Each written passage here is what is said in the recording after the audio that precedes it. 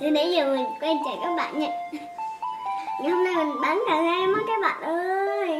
Nhiều lắm á. Với lại các bạn có mua ủng hộ cho mình không? Đây cà rem của mình các vị gì nha?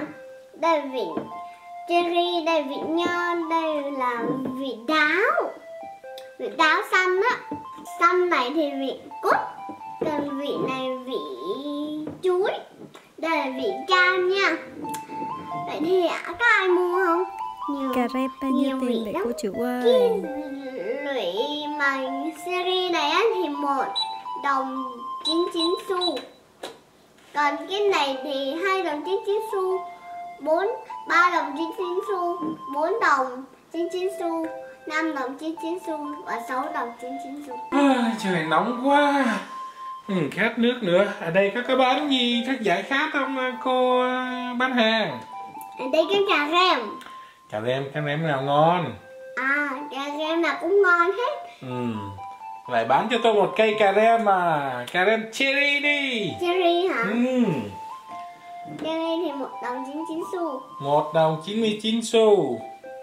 Ừ, một đồng 99 xu. Đó trời ơi. Giật mình. Đấy này một đồng 99 xu. Cảm ơn nha Về ôi trời ơi ngon quá. Cảm ơn nha. Ừ.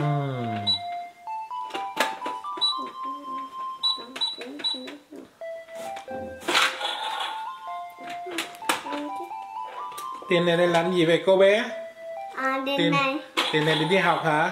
Dạ không, đèn này thì mình sẽ để mình mua Mình mua mấy cái cây này nè.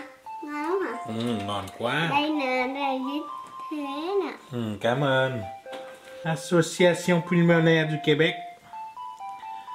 Ừ, toàn là người ờ, Người tuyết. người tuyết không à? Đẹp quá. Cảm ơn bạn nhé Dạ. Tôi ăn cái này ngon lắm đấy. Hả? sẽ mua lại nữa đấy. Cảm ơn quý hát nha. Xin chào. Bye.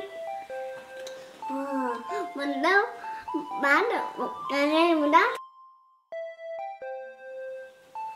Ờ, Ồ, đời này giờ không có khách cho mình muốn á. Bây giờ mình phải ăn thử một cái xem có ngon ngon không nha các bạn. Ủa, ngon nè. Ừ. Ngon mà là do không có ai mua vậy Sao Rồi, mà ăn đại cũng được